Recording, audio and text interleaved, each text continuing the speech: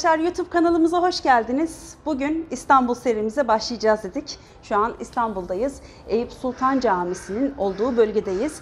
Şu an Eyüp Sultan Camii'nin arka kısmında olan Mihrişah Valide Sultan Türbesi'nin gördüğünüz gibi avlusundayız. Yanımızda Hediye Tuğba Sezer hanımefendi var. Daha önce size e, anlatmıştık, söylemiştik kendisiyle bir program yapacağız diye. Bugüne nasipmiş. Hoş geldiniz Hediye Hanım. Hoş buldum. Teşekkür Nasılsınız? ederim. İyiyim, sağ olun. Siz? Ee, ben de iyiyim. Böyle e, nasıl diyeyim manevi bir yeri çekmeyi çok ya, heyecanlıyım. Uzun zamandır istiyordum. Güzel oldu. Ee, Eyüp Sultan'a tabii ki de gideceğiz caminin olduğu yere ama ilk önce e, burayı çekmek istedim. Evet. Çünkü e, daha önce de gelmiştim ben Eyüp Sultan'a ve burayı çok sevmiştim ve o dönem zannedersem bir restorasyon vardı ve içeri girememiştim. Kapalıydı. Arkadaşlar çok güzel bir zamandayız. Şu an açık. Ee, bize Hediye Hanım Mihrişah Valide Sultan kimdir ve burası nasıl bir külliye ondan bahsedecek. Öncelikle Hediye Hanım biraz sizi tanıyalım.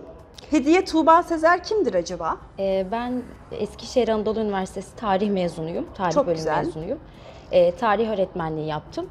Gönüllü olarak da e, görme engelli çocuklara da tarih öğretmenliği yaptım. Oo çok güzel. Ee, aynı zamanda tarih araştırmacısı olarak da e, İstanbul'un hani taşını, toprağını, her türlü zenginliğini gezerek istifade ediyorum. evet. E, bugün de zaten sizinle beraber biraz bunlar üzerine konuşacağız. Takipteyim sizi. Teşekkür Ee, ederim. sadece arkadaşlar Osmanlı ve Selçuklu olarak düşünmeyin. Hediye Hanım Roma e, ve önceki kadim tüm medeniyetleri araştıran, bununla ilgili olarak da sürekli e, bir çalışma içerisinde, bir araştırma içerisinde olan bir hocamız. Ben de sizinle çalışmaktan çok memnunum.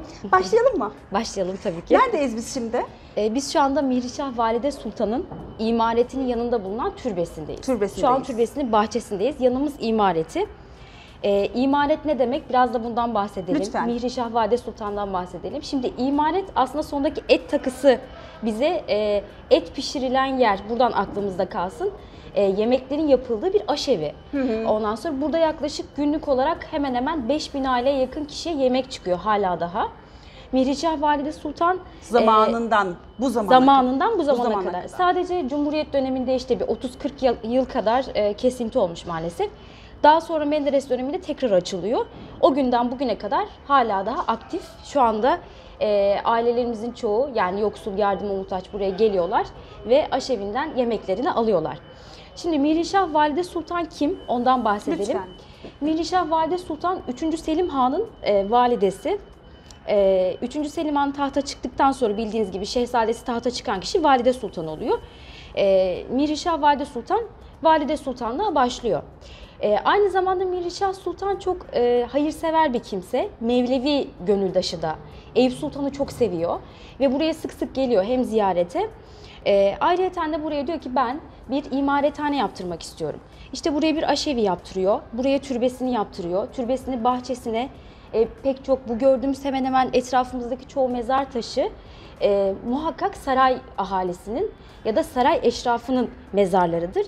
Çünkü Eyüp Sultan'ın bir hususiyeti var. Burada bir kısa bir dipnot olarak verelim. Lütfen. Ee, Eyüp Sultan hani diğer beldelerde gördüğümüz mezarlar gibi Osmanlı mezarları gibi değil. Burası seçkin. O yüzden e, buraya adeta vizeyle defin gerçekleştiriliyor izinle. E, buraya sadece seçkin insanlar defnedildiği için hani şu anda Mirişah Valide Sultan'ın türbesinin etrafında gördüğümüz ya da şimdi dışarıda göreceğiz Yunus yolunun o tarafta. Bütün kabirler aslında ya Kethüdalardır ya dadılardır, saray ahalisidir ya da saray erkanının yakınıdır. Şimdi Mirişah Valide Sultan, Eyüp Sultan'a sık sık geliyor dedik. Mevlevi gönüldaşı dedik. Burayı çok seviyor dedik ve bir imarethane yaptırıyor.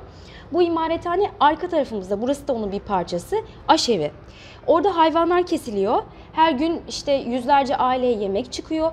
Kendi burada türbesi var. E, ayrıca türbesinin içerisinden de birazdan bahsedeceğim. Çok önemli şahsiyetler yatıyor sadece kendisi yatmıyor burada.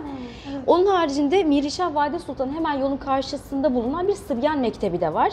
Sıbyan Mektebi bildiğimiz gibi en küçük çocukların okulu. Ama Osmanlı'da şöyle bir güzellik var. Sıbyan mekteplerini e, böyle mahallelerin içine değil de biz mezarlıkların arasına yapıyoruz. E, Culus yolu zaten mezarlık karşılıklı olan bir yer. Bunun bir sebebi şu. Osmanlı istiyor ki Culus yolunu anlattığımızda detaylı olarak bahsedeceğiz. Tahta yürüdüğü yolda bile ölümü unutmasın. Çocuklar yetişirken dahi ölümden korkmasın. Bu muhasebeyi daha küçük yaşta pekiştirsin. Çok güzel. Şimdi biz bunu burada e, kısaca bırakalım. Tamam. Devam edelim. Biraz Mihrişah Valide Lütfen. Sultan e, türbesinde yatanlar kimler? Evet. Şimdi Mihrişah Valide Sultan'ın türbesinde aslında çok mühim bir zat-ı muhterem daha yatıyor. Bu kim? Ee, ikinci Abdülhamit Han devrine gideceğiz. Sultan II. Abdülhamit Han e, validesinin ismi Tiri Müjgan kan- e, Kadın Efendidir. Fakat şöyle üzücü bir hadise yaşanmış. Tiri Müjgan Kadın Efendi Sultan Abdülhamit Han küçükken vefat ediyor. Ee, Sultan Abdülhamit Han öksüz kalıyor. Fakat babası Abdülmecit Han diyor ki e, seni diyor bir e, kadın efendinin yanına götüreceğim. O kadın efendi de hiç çocuğu olmamış hanımlarından e, Rahime Perestü Sultan. Perestü kırlangıç kuşu demek. Aa. E, ona bu kisveyi vermişler. Sebebini biz de bilmiyoruz. E, Cemile Sultan'ı yani ablasını ve Sultan II. Abdülhamit Han'ı daha şehzadeyken ve sultanken e, Perestü Sultan'ın yanına götürüyor ve diyor ki artık onların validesi sensin. Onlara sen bak, sen büyüt. Olacak şu ki e, Valide Sultan bunları tabii büyütüyor. Onlar e, büyüyorlar. İşte Sultan Abdülhamit Han'a taht nasip oluyor. Halbuki Perestü Sultan'ın hiç çocuğu olmamış olmasına rağmen e, Tiri Müjgan e, kadın efendi hayatta olmadığı için e, 2. Abdülhamit Han tahta çıktığında Perestü Rahime Valide Sultan Valide Sultan kisvesiyle Alıyor. sultan oluyor. Aa. Ve o da vefat ettiğinde Mirişah Sultan'ın yanına buraya defnediliyor. Ve e, içeriye girdiğimizde göreceksiniz Mirişah Sultan'ın hemen yanında bulunan daha girişteki ilk türbe Perestü Rahime Valide Sultan'ın o e, sul- e, sultanın türbesinin sandukasının kenarında çevrili bir çerçeve var. Bu çerçeve bizzat Sultan II. Abdülhamit Han tarafından kendi elleriyle yapılmış, kendisi yapmış sedef kakma e, hakiki bir e, sanduka çerçevesi. Zaten Bundan- e, Sultan. Abdülhamit'in e, arkadaşlar bilenler bilirler. E, Sultan Abdülhamit'in e, yani bütün padişahlarda olduğu gibi bir el sanatı e, Tabii, tabii. bütün padişahlarda var. muazzam bir marangozluk yeteneği var. Marangozluğu var. Bazısı biliyorsunuz işte işçilik, altın işçiliği herhalde kanun Kuyumculuk. kuyumculuk e, söyleyemedim. Kuyumculuk. Bazıları işte e, sanırım çok güzel şiirler herhalde yazıyor. Mahlaları falan var bildiğim kadarıyla, hatırladığım kadarıyla. E, Sultan Abdülhamit de bildiğiniz gibi çok ciddi güzel böyle bir marangozluk becerisine sahip. Evet. E, bu herhalde ondan geliyor Evet. değil mi? Şimdi bir önemli Lütfen, yer daha var. buyurun. Onu da anlatmam gerekiyor. Buyurun. Ee, Mihrişah Sultan'dan bahsettik. Rahime Sultan'dan bahsettik. Bir de e, Sultan 3. Selim Han maalesef ki tahttan indirilme hadisesinde bir katledilme meselesi Evet. ve isyan e, baş gösteriyor. Evet. Bu isyan tarihte Kabakçı Mustafa isyanı diye geçer. Büyük bir isyandır.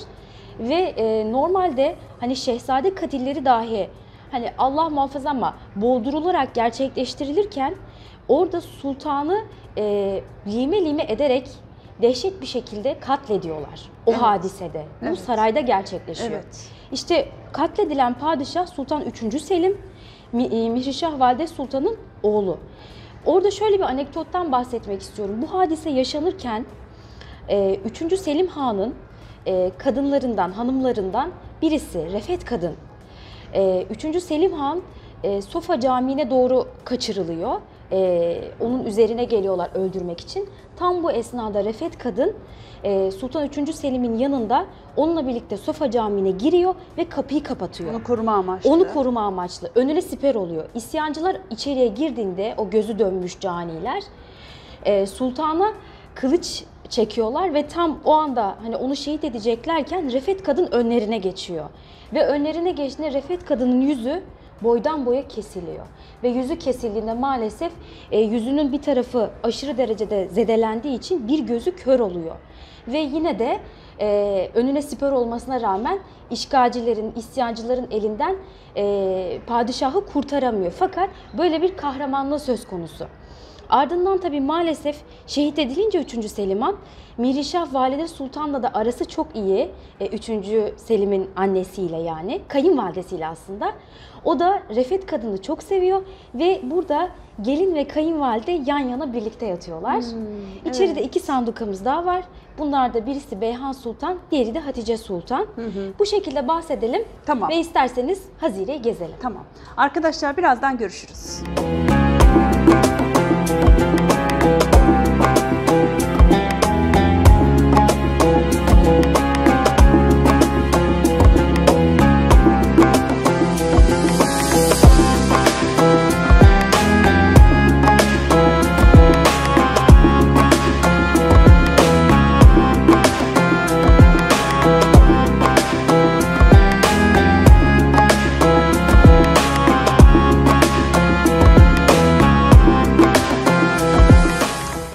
arkadaşlar şimdi Culus yoluna geldik. Mihrişah Valide Sultan'ın Sebil'inin önündeyiz. Hediye Hanım burayla ilgili bütün bilgiler sizde. Evet. Şimdi Mihrişah Valide Sultan'ın muazzam e, imarethanesine dahil edilmiş bir sebil burası. E, şu anda tabii içeride kimse yok ama normalde içeride e, bir görevli oluyordu. Ondan sonra yani eskiden Osmanlı zamanında o görevli gelen insanlara bu e, pencerenin içerisinden e, şerbet ya da e, su ikramında vesaire bulunuyordu. Bu da tabii ki bir vakfın parçası.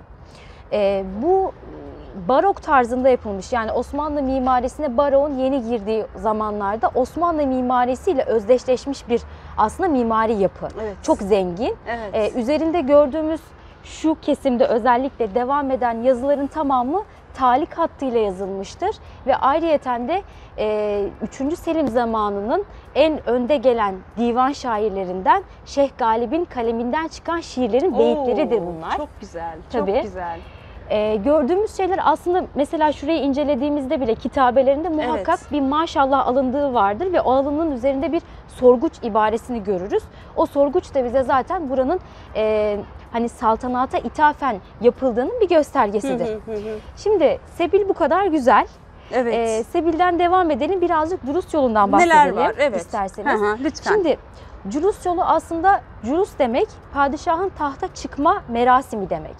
Culus bahşişi demek padişah tahta çıktığında askere yani yeniçerilere dağıtılan belli bir e, maaş diyebiliriz buna. Evet, ikramiye, şimdiki ikramiye. gibi. İşte burası da bu Culus bahşişinin ve tahta çıkma törenlerinin yapıldığı mevki, yapıldığı yol. Bu Bu, yol yolun adı böylece Culus yolu. Culus yolu. Evet. Evet. Şimdi şöyle alalım hikayeyi.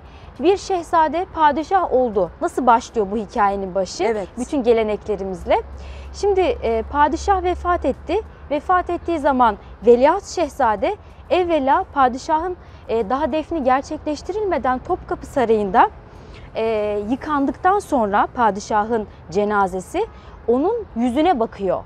Evet. E, has odanın önünde gerçekleşiyor. Hırkayı Saadet Odası'nın önünde bulunan Hırkayı Saadet Odası da Fatih Sultan Mehmet Han'ın eski has odası. Ee, onun önünde bir teneşir var ve bu teneşirin üzerine padişahın cenazesi konuluyor. Ve padişahın yüzüne e, şehzade bakıyor ve e, onun vefat ettiğini, ölümü hatırladıktan sonra hani her zaman diyoruz ya Osmanlı'nın e, klişeleşmiş bir cümlesidir. Hani padişah büyüklenme senden büyük Allah, Allah var. var. E, saltanat dediğin hani bir kuru kavgaymış. O yüzden dünya malına celbetme, hiçbir zaman ölümü unutma. Bu mesajın yine manevi olarak ilk adımda verildiğini görüyoruz. evet. Şehzade gördü padişahı. Ondan sonra Osmanlı'da bir kültür olarak en önemli şeylerden bir tanesi has odada yapılan belli adımlar vardı. Hı hı. Has oda yeni doğan bebeklerin getirildiği ilk odaydı. Ee, bu has oda dediğimiz yer ise Hırkayı Saadet Odası'ydı. Yani az önce belirttiğim gibi Fatih Sultan Mehmet Han has odası. Hırkayı Saadet Odası'nda bu merasimlerin yapılmasının sebebi Peygamber Efendimizin hırkası orada bulunduğu için Peygamber Efendimizin huzurunda onun nazarıyla bebeklere isim koyma törenlerini bu odada gerçekleştiriyorlar. E, vefat ettiği zaman bir padişah o odanın önündeki teneşirde yıkanıp e, bekletiliyor ve cenaze defin için gönderiliyor. Ayrıca tahta çıkma törenlerinde yine dediğim gibi ilk biat töreni bu Hasoda'da yapılıyor. Bugün Hasoda Topkapı Sarayı'nda. Hasoda'da biat törenine Yeniçeri ağası, Şeyhülislam, Sadrazam böyle önde gelen Çok devlet evet önemli kişiler. erkanı geliyor. Ve şehzade evvela gördü vefat etmiş padişahı sonra e, odaya girdi e, Hırkayı Saadet odasına ve Hırkayı Saadet odasının karşısında yakınında devlet erkanıyla beraber e, onun biat töreni başladı. Dualı bir şekilde onun tahta çıktığını e, Şeyhülislam Efendi'nin okuduğu dualarla e, beyan ediyorlar ve bu şekilde biat töreni gerçekleşiyor. Sonra işte geldik önemli kısma, bizi ilgilendiren en önemli kısma. Şu an burada bulunmamızın sebebi bu. E, ne yapılıyor? Herkes saltanat kayığına biniyor e, padişah olan kişi. Yani şehzade artık padişah oldu. Kılıç kuşanma merasimi için ve cülus töreni için bu gördüğünüz Eyüp Sultan'da bulunan Bostan iskelesi yani yolun başındaki o iskele şu anda yol var ama eskiden yol yoktu orada. Bostan iskelesine geliyor. Bostan iskelesine geldiğinde o gelmezden evvel bu yolun tamamı Yeniçerilerle donatılmış vaziyette. Evet. Baştan sona kadar Yeniçeri. Ortası boş. Ortasında kumaş bir kuşak geçer ve e, padişah gelir yani padişah olacak şehzade saltanat kayığından iner. İner. İndikten sonra Bostan iskelesinden çıkar ve bu yola girer. Girdi, yürüdü, devam etti. Atın üzerinde geliyor. Direkt orada ata biniyor. Geldi. Az önce Mirişah Valide Sultan'ın türbesinin önünde bulunan binek taşının olduğu yere kadar atıyla gelir. Arkadaşlar videolarımız içerisinde binek taşını da sizlere Evet. göstereceğiz. O binek taşından orada iner. Neden? Edeben, adaben Eyüp el Ensari Hazretleri'nin huzuruna atıyla girmez. Girmez. Orada iner. İndi, bütün asker bekliyor. Hala daha cülus töreni bitmiş değil. Yanında muhakkak bir hocası yani e, gönül verdiği bir e, nedir bu? Mesela Mevlevi gönüldaşıdır kendisi. Mevlevi hocası vardır yanında. Ya da mesela Aziz Mahmut Hüdayi Hazretleri. Hüdayi Hazretleri'ni hepiniz bilirsiniz. 4. Murat Han'ın mesela kılıç kuşanma töreninde o bulunmuştur. Evet. Muhakkak gelir yanına, içeriye girilir. Türbeden içeriye girdi bu kapıdan. Yanında hocası var, önde gelen devlet erkanı var ve e, birazdan göreceğiz Eyüp Sultan Hazretleri'nin türbesinin yanında ufak bir kapı var. Bu kapıdan içeriye giriyor. Bu kapıdan içeriye girdikten sonra burada dualı bir vaziyette ya Peygamber Efendimizin kılıcı ya dört büyük halifeden birinin kılıcı ya da atalarından birinin kılıcını Kılıcıyla. törensel Kuşanıyor. olarak kuşanıyor dualarla. Ve orada resmen biat töreninin ikincisi olarak cülus merasimi başlamış oluyor. Yani padişah artık tahta çıktı. O odadan çıktıktan sonra artık padişah olarak Padişah. o ünvanla e, o odadan çıkıyor. Fakat ne yapıyor? Ziyaretini gerçekleştiriyor. Ziyaretten sonra avlunun içinde bulunan yine ikinci dış avluda bir binek taşına biniyor ve binek taşının üzerinden ata bindikten sonra Edirne Kapı üzerinden saraya doğru gidiyor. İşte bu yolda e, bütün Yeniçeriler hani bir araya geldi bu törene şahitlik etti dedik ya ayrıyeten keselere doldurulmuş cülus bahşişleri e, sandıklarla getiriliyor ve buradaki bütün ahaliye, bütün askere tek tek eşit miktarda dağıtılıyor. Evet. İşte Osmanlı'dan kalma İstanbul'daki nadir tarihi caddelerden birisi, sokaklardan birisi Culus yolu. Evet. Bu yolu, bu hikayeleri, bu kadim bilgileri yitirmememiz lazım. O yüzden biz de sürekli anlatarak diri tutuyoruz. Maşallahınız var. Peki, e, Culus yolundan bahsettikten sonra yolun sonunda birkaç kişinin daha Evet. onlardan onlardan da bahsedelim. Yani e, herhalde Valide Sultan var mı orada? Adile Sultan var. Adile, Hı Ee, Hüsrev Paşa var, Adi- sadrazam. Adile Sultan e, validelik yaptı mı? Hayır, Adile Sultan Sultan II. Abdülhamit Han'ın halasıdır. Yani bir hanım sultan. Hanım Sultan. Hanedan mensubu. Ee, Valide Sultan değil. Hı hı. Şimdi ondan biraz bahsedelim. bahsedelim. Çünkü Culus yolunun şöyle söyleyelim ki insanların e, hani izleniminde şöyle bir mantık otursun. Eyüp Sultan Hazretleri o kadar kıymetli ki civarında muhakkak e, imanetler kurulmuş, türbeler kurulmuş, sultanlar birbirleriyle yarışmışlar burada hayır işlemek için. Ayrıca de hep bu kesime Civarda. defnedilmişler. Hı hı. Çünkü onun rahmetinden, onun e, himmetinden manevi olarak feyz almak istedikleri için muhakkak burada e, defnedilmek istemişler. İşte Adile Sultan e, yolun başında kendisine ait bir türbe yaptırıyor. Fakat Adile Sultan'ın hayat hikayesi aslında biraz yürek burkucu, biraz acı, Evet. e, biraz imtihanlarla geçmiş bir hayat hikayesi var. E, Adile Sultan, Sultan II. Mahmut Han'ın kızı, e, Sultan Abdülmecit Han'ın, Sultan Abdülaziz Han'ın kız kardeşi. Sultan II. Abdülhamit Han'ın da doğal olarak halası. Halası. E, kendisi Mehmet Ali Paşa ile evleniyor. E, evlendikten sonra dört tane çocuğu oluyor. Bunlardan üçünü e, maalesef ki küçük yaşta hastalıktan yitiriyor. Şimdi üç evladını da ardı ardına yitirdiği zaman haliyle bir anne çok üzülüyor. Yani her annenin üzüleceği gibi. Buraya bir türbe yaptırıyor ve bu bostan iskelesinin başına e, bu türbeyi yaptırıp e, vefat eden evlatlarını buraya defnettiriyor. Hı hı. Ondan sonra üzülüyor. E, dünyadan biraz elini eteğini çektiği için hani e, zevk alamıyor. Hani derler ya hep saltanat saltanat diyoruz ama aslında iç yüzünde herkesin apayrı derin hikayeleri var. Adile Sultan da bu hikayelerin başında gelen bir hanım sultan. E, ayrıyeten sonra bir kızı kalıyor, tek bir kızı. E, bu kızı evlendiriyor bu kızını. O da olacak ya e, bir kızı, onun da bir evladı dünyaya geliyor ve kendisi yine genç yaşında e, bir hastalığa yakalanıyor. Kızını da kaybediyor. Kaybediyor. Ve kızı da buraya defnediliyor. Bu sefer bütün evlatlarını kaybetmiş oluyor. Sadece torunu kalıyor hayatta. Onunla ilgileniyor. Ee, kendisi aşkla bağlı olduğu bir eşi var Mehmet Ali Paşa. Tabii o bu zamanlarda ona destek vesaire ama şunu da belirtelim Sultan Abdülhamit Han halasını çok severmiş. Ee, Adile Sultan geldiğinde muhakkak ayağa kalkar ona kendi elleriyle kahve ikram eder saray erkanı ile birlikte onu ağırlar ve e, ona aşırı bir intizam gösterirmiş. Mehmet Ali Paşa ile aralarında da güzel bir muhabbet var. Yani Adile Sultan çok seviyor Mehmet Ali Paşa'yı. Bir gün Adile Sultan sık sık Eyüp Sultan'a geliyor çünkü evlatları burada ve Eybeli Ensari Hazretleri burada. Muhakkak sık sık her hafta geldiği için yakınlarda bir yerde artık nerede olduğunu tam bilmiyoruz. Yol üzerinde abdest tazeleme ihtiyacı duyuyor. Ve o zaman da adettir muhakkak herkesin kapısı hani alelade bir şekilde de olsa çalınır. Çünkü herkes misafirperverdir. E, yine bir kapı çalınıyor. Adile Sultan'ın Nedimesi diyor ki hani biz diyor abdest tazelemek istiyoruz. Bize diyor ayıracak hani birkaç dakika zamanınız var mıdır? Müsait midir e, eviniz diyor. Evin sahibesi de diyor ki buyurun tabii ki ne demek diyor. İçeriye alıyor ve Adile Sultan'ın olduğunu bilmiyor ama. Yani e, ağırlayan kişi. Hasılı kelam Adile Sultan abdest alıyor. E, abdestini tazeledikten sonra biraz oturuyor. Ev ahalisi işte e, hanımefendi ona bir şerbet ya da bir kahve artık ne ikram ettiyse ediyor.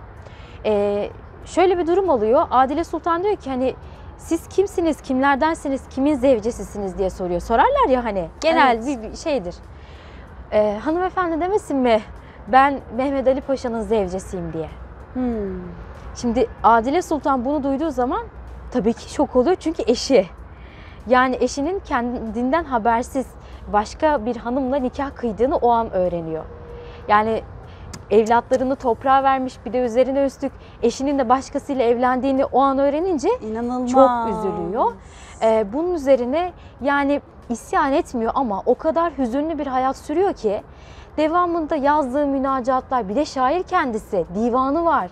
Ee, hani Allah Peygamber Allah, Efendimiz'e ondan sonra eşine sitemkar bir şekilde hani ben seni böyle sevdim ama sen hani bir başkasıyla e, gönlünü birleştirdin oldun. Hani bana bunu reva gördün. Hem ilahi adalete sabrediyor. Bunu bir imtihan olarak görüyor. Hem de ayrıyeten e, hani hayatımızda bazen tutunduğumuz dalların her birisini böyle kimileri yitirir ya. Hani ona şöyle derler o insanlara. Allah gönlünde başka bir insana dair, etrafındakilere dair bir muhabbet bırakmıyor. Çünkü sadece kendi olsun istiyor. Sadece Allah olsun. Ve Adile Sultan da böyle olmuş. Ardından Mehmet Ali Paşa belli bir zaman sonra vefat ediyor. Yani başka biriyle olduğunu bilse de eşinin hayatında artık olmayışı, kaybedişi onu yine çok üzüyor. Mehmet Ali Paşa da buraya defnediliyor. Sonra e, bütün bu kayıpların ardından Adile Sultan epey de yaşamış. Yaklaşık evlatları, işte eşi vesaire hepsinden sonra 35 yıla yakın galiba 33 yılda olabilir yaşıyor. Ve e, yaşamının devamını muhakkak hep buraya geliyor. Türbeyi ziyaret ediyor. Eyüp Sultan Hazretleri'ni ziyaret ediyor. Burada dua ediyor. Yetmiyor. Eyüp Ensari Hazretleri'nin türbesinin hemen yanında bulunan e, o mevkiye yani türbeye dahil edilen bir yere bir itikaf odası yaptırıyor. Hı. Ve her Ramazan ayının son 10 günü buraya geliyor ve itikafa e, çekiliyor 10 gün boyunca Adile Sultan. Adile Sultan'ın bir de bahsetmemiz gereken önemli tarihteki e, yerlerinden bir tanesi e, ilk kadın sığınma evini kendisi kurmuştur. Sarayında e, bir yani kızları bir e, harem diyoruz ya hani biz harem deyince aklımıza farklı şey geliyor ki halbuki hanımlar okuludur.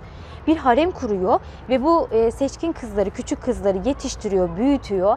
Çok güzel eğitim veriyor ve bu kızları layıklarıyla evlendiriyor. Bir paşa, bir e, devletli zevcesi oluyorlar ve aynı zamanda hani İstanbul'un e, statü olarak elit kesimini oluşturuyor bu insanlar. E, etrafında nerede kız, çoluk, çocuk varsa herkesi giydiriyor. Giydiriyor. Çok hayırsever bir hanımefendi. E, bunun haricinde Balat tarafında bulunan kadın eserleri kütüphanesini kendisi kuruyor. Yani kadınların her Çok zaman ciddi bir, arkasında durmuş. evet, bir desteği var. Evet. Evet. Ve o da en sonunda işte Fındıklı'da bulunan e, köşkünde e, bir Ramazan bayramı sabahı kapısı çalınıyor. Kendisinden ses çıkmıyor. İçeriye giriyorlar bakıyorlar ki Adile Sultan Hakk'ın rahmetine kavuşmuş ve onu da getiriyorlar. Burada gördüğümüz türbesine defnediyorlar. Allah Adile Sultan şu an eylesin. burada. Evet. Ee, arkadaşlar türbesinin içine tabii girmek isterdik fakat e, Restorasyon kapalı. çalışması E, var. Restorasyon Evet. çalışması var, kapalı. E, o yüzden ben dışarıdan size bir takım görüntüler almaya çalışacağım ama e, Adile Sultan'dan sonra kime geçiyoruz? Başka kim var? Adile Sultan Türbesi'nin yanında Hüsrev Paşa var. O da e, Sultan Abdülhamit Han'ın aslında birkaç dönem e, sultanlarının devlet adamlığını yapmış. Çünkü yaklaşık 100 yaşına kadar yaşamış bir Oo. kimse. Evet. E, ama hiç çocuğu olmamış. Aha. Ama o da şöyle biri.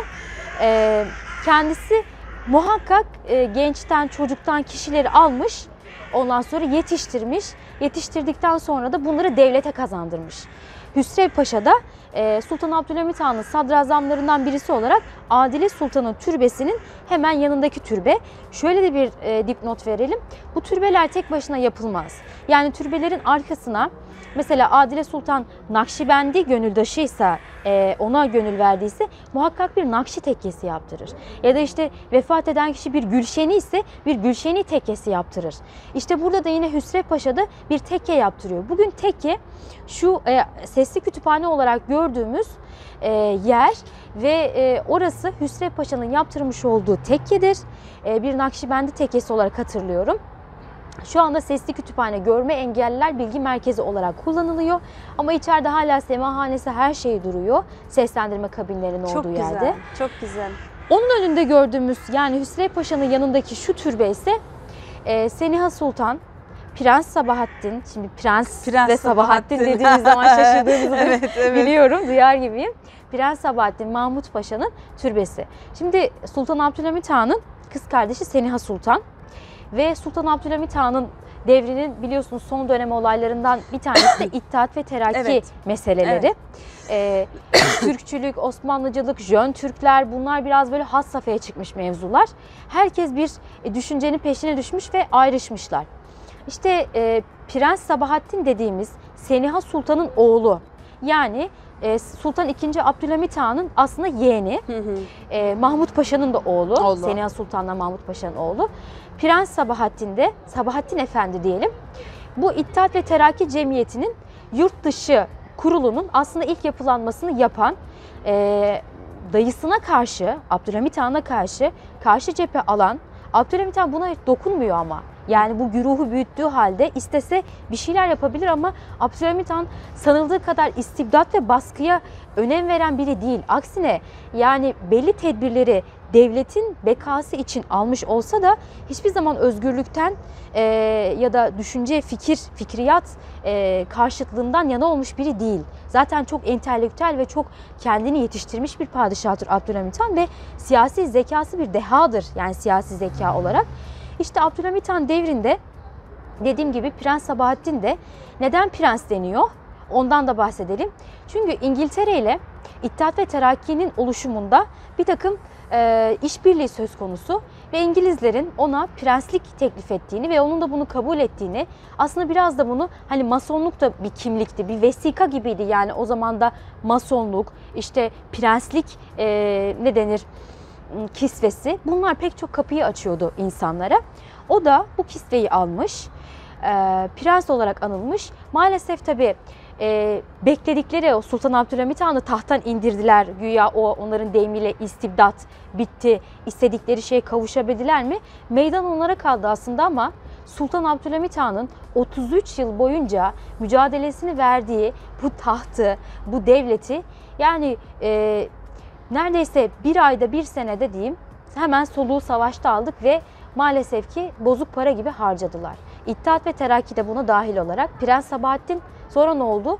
Devamında bu İttihat ve Terakki'nin çoğu zaten üyesi e, ya suikaste uğradı, öldürüldü ya da yurt dışında sürgün hayatı yaşadı. Zaten hanedanı e, sürgün etme kanunu çıkarıldı ya.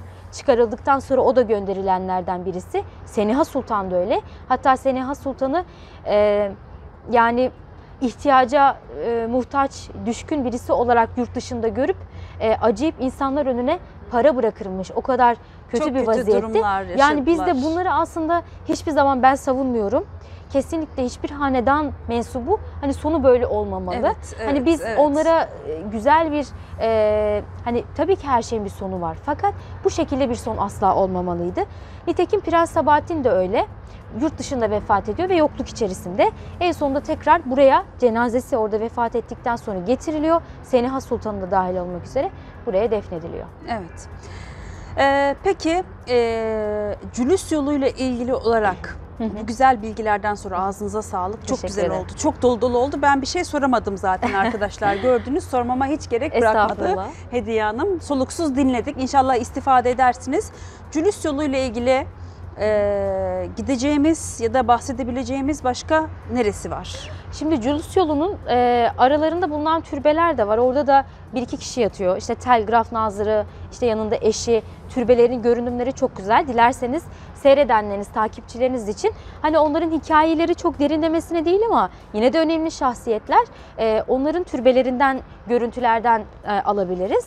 Bunun yanında bir de Abdülhamit Han döneminde bir e, Hasan Hüsnü Paşa e, var. O da yine Kaptanı Deryalardan. E, Culus yolu bu kadar diyelim hikayesiyle. Ee, o zaman şöyle yapalım arkadaşlar. Biz bugün Cülüs yolunu bitirmiş olalım. Hediye Hanım'la bizim çekimlerimiz devam etsin. Bu haftalık Mihrişah Sultan ve Cülüs yolu olarak bölümümüzü bitirelim. Hediye Hanım'a çok teşekkür edelim. Ben teşekkür ederim. Bir bölümümüz Cülüs yolu olarak yayınlayalım. Biz gezmeye devam edeceğiz. Birazdan Eyüp Sultan'a gideceğiz. Oraları çekeceğiz. Onları haftaya sizler için yayınla- yayınlayalım inşallah. İnşallah. Ee, YouTube kanalımıza abone olmayı unutmuyorsunuz. Bizleri beğenmeyi unutmuyorsunuz. Sizlere e, şimdilik hoşça kalın diyoruz. Çok teşekkür ediyorum. Ben teşekkür ederim. Biz gezmeye devam ediyoruz. Haftaya sizlerle görüşürüz. Müzik